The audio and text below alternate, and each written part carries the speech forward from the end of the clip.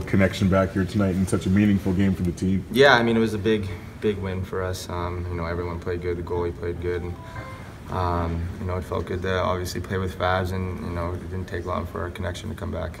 Did you remember how good of a shot he is? I mean, the, Yeah, like for you guys sure. hadn't missed any time. Yeah, no, I mean, um, you know, he was good all in juniors. He was good for St. Louis, you know, when they won the cup, and um, he's going to be good with us here. And, and uh, I think all the guys are happy to have him. He's a, you know, he's a good shot. He works hard, and he, and he fits in well here.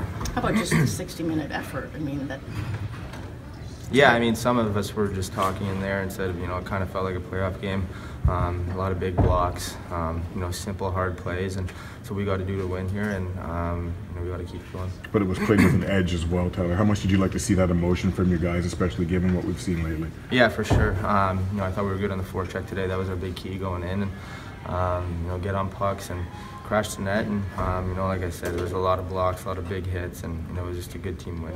What's the saying when a guy like Hronek's dropping the gloves with a guy like Martian? What kind of message did that send to the bench? Yeah, I mean, Phil, yeah, good for him for you know for standing up uh, for himself, and um, you know, obviously it got us um, you know going on the bench for a guy like that, you know, a skilled defenseman to you know drop his gloves and, and fight him. Uh, you know, showed a lot of character.